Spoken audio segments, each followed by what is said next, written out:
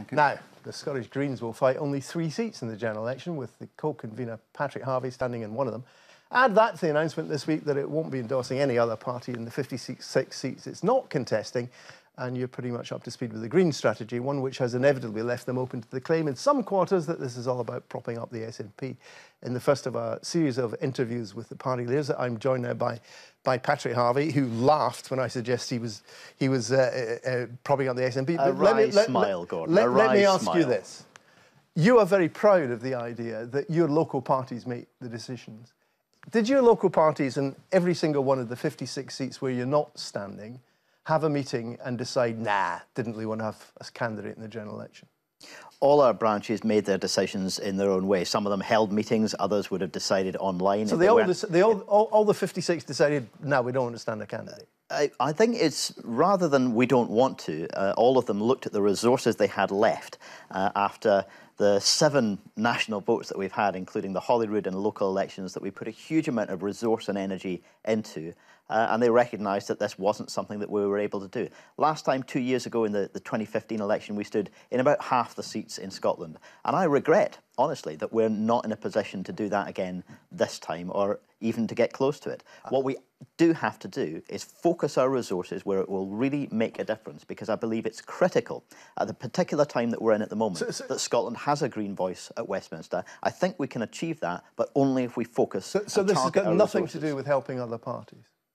No, the, the branches uh, in some parts of the country will no doubt, uh, as our colleagues in the Green Party of England and Wales have done as well, contemplate as one of the factors how best to stop the Tories. And if there's a Tory held seat, I think that's clearly one of the factors uh, that people would, uh, would have in mind anybody on the progressive side of politics needs to be trying to prevent uh, the kind of Tory takeover at Westminster that Theresa May is planning for. This is an entirely opportunistic election that she didn't need to call, that she said she wouldn't call, and she's doing it purely in order to capitalise on a weak Labour Party. Uh, hang on, uh, I'm confused now because the two answers you've given seem to flatly contradict each other. One minute you were saying this was entirely about resources and your, your branches had all decided not to stand. I think it's And now you're saying you're not standing because you want to help beat the Tories. It's overwhelmingly about resources, but obviously one so, of the factors... But it's a bit about beating the Tories. Obviously one of the factors that a branch uh, which is covering a, a, a Tory-held or a Tory marginal seat, one of the factors they'll consider uh, is how best to prevent that very damaging outcome of a, of a bigger Tory majority at Westminster. But look, the, the reality is there are going to be hugely important social and environmental powers moved from Europe to Westminster in the next session of Parliament, where many Tories want a bonfire of the regulations. Okay. That will um, literally um, put people's lives on the line, and a green voice at Westminster is a really urgent priority for us. Uh, uh, Maggie Chapman, your co-convener, she said a few weeks ago that you would consider as you've suggested, a strategy of trying to keep the Tories out and not standing in areas where you thought that would, that would help people who are fighting the Tories. She also said an approach would be made to the Scottish National Party um, about a progressive alliance in what she said was the next couple of days. That was on April the 18th. Was such an approach ever made? No. Why not? Uh, it wasn't a discussion that, that took place. And well, why did she say you were going to make an approach? It wasn't something that the party had decided to do. Maggie was expressing a personal view uh, in, a, in an off-the-cuff interview. So, you know, the, the reality is the party makes decisions, not me, not Maggie, the party at every level uh, as locally as possible. That's the way we've always worked as a party. So, so, just to get this clear, so Maggie Chapman, your co-convener, said there'd be approach within the next couple of days. There wasn't an approach. Why not? She said she was expressing a personal view. yeah, and why wasn't there an approach?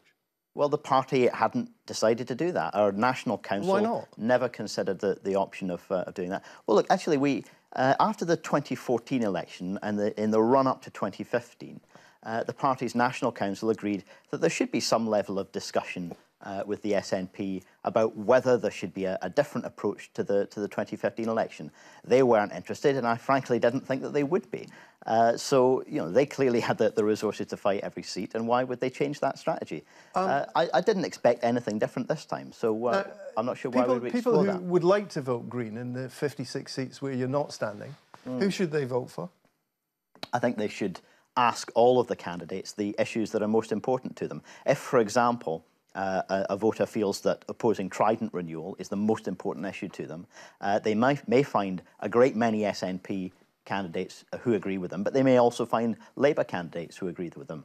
If the most important issue to them is ending the subsidies to fossil fuels, they're unlikely to find many SNP uh, uh, candidates who support them because they call for uh, ever deeper subsidies for fossil fuels. If the most important thing to them is a sustainable transport industry, why would we be sending uh, MPs from Scottish constituencies to go and argue for an extra runway at Heathrow when our public transport is underfunded, uh, unreliable and overpriced? What if they decide the Tories have got the best offer? Well, I think if people want uh, an ever meaner, harsher social security system that forces ever more people into poverty, then they really need to check their values.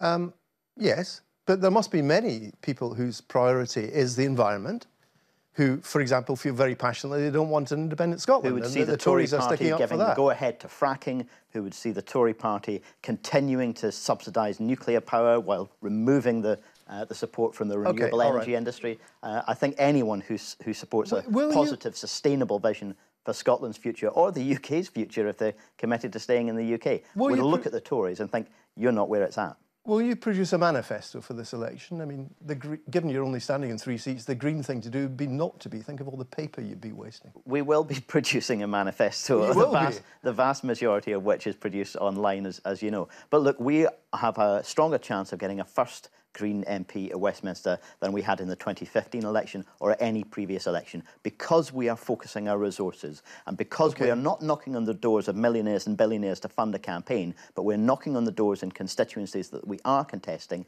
and talking to people about investment in a sustainable future, not a fossil fuel addicted economy, which is never going to last us for the long term, but one that will create jobs that will genuinely serve us for the future. A social security system worthy of the name based on a universal basic income that meets everybody's needs and allows people to choose the balance in their own life between working, okay, learning, right. okay. caring, and all of the other things that matter in life. Um, but unlike the SNP, you are a pan-UK movement, aren't you? And indeed, We're a, global pan, movement. A, pan, a global movement. A global movement, right. And, and you you say on your, your, your website, I want to make a real impact, joining forces with the incredible Caroline Lucas, who's the first Green MP, has been doing the work of 100 politicians.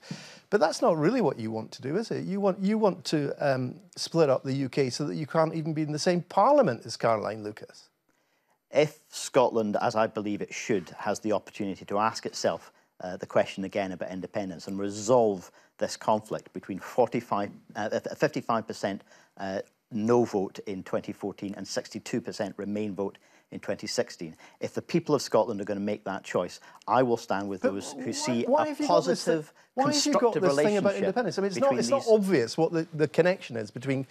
I mean, I'm sure that many people in Scotland care deeply about environmental issues, but are either are deeply opposed to independence for Scotland or or just see it as a secondary issue. Yeah, I, Why have you got such a bee in your bonnet about it? I, I, I know there are such people, and uh, there, there are such people in the, the Scottish Green Party. All through 2014, when we debated these issues at length, uh, you know that, that, that we were the only political party clearly and comfortably saying we have a, a clear majority of our members campaigning for a yes vote, but we have no problem with debating that in a spirit of friendly disagreement with those Greens who are going to vote a different so, so way. So if, you, if your main issue is you don't want a second independence referendum, you don't want independence, but you are otherwise totally paid up in caring for the environment, you shouldn't vote Green, should you?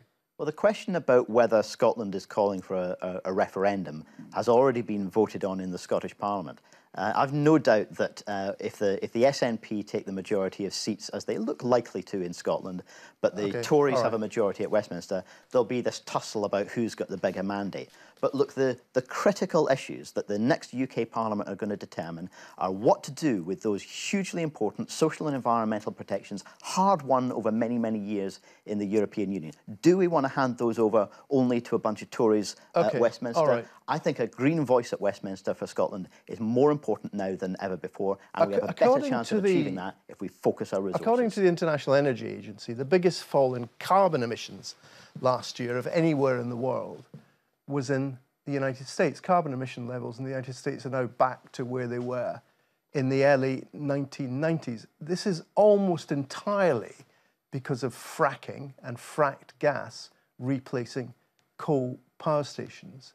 Yet you are adamantly opposed to fracking on the grounds that it's bad for carbon emissions. It clearly isn't. It's the main factor that's helping reduce carbon emissions, not just in the United States, but also in countries like China.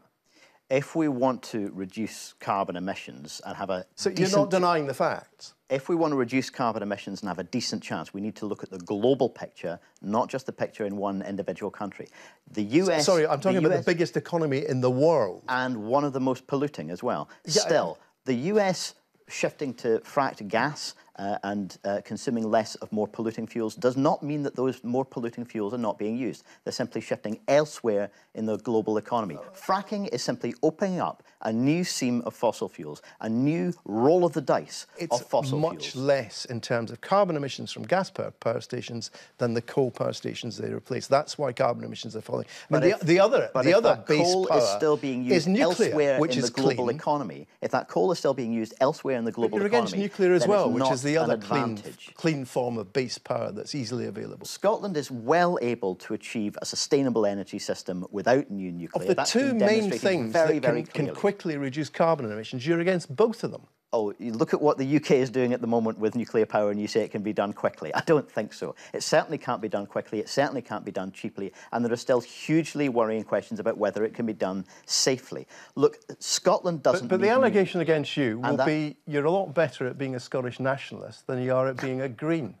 Uh, yeah, I've heard that and other very silly uh, allegations from the Conservative Party in, in recent weeks as well. Uh, you know, they, they keep coming up with uh, ever more creative uh, and, and not very well done memes uh, online. Look, the, the arguments that Or Greens are bringing to the table with an element are coming from nobody else uh, in the Scottish political landscape about a transition Okay, away from all a right. fossil fuel economy and investment in the sustainable future that we need. we'll have to leave we'll it there. keep making that case. Patrick Harvie, thank you very much indeed for joining us.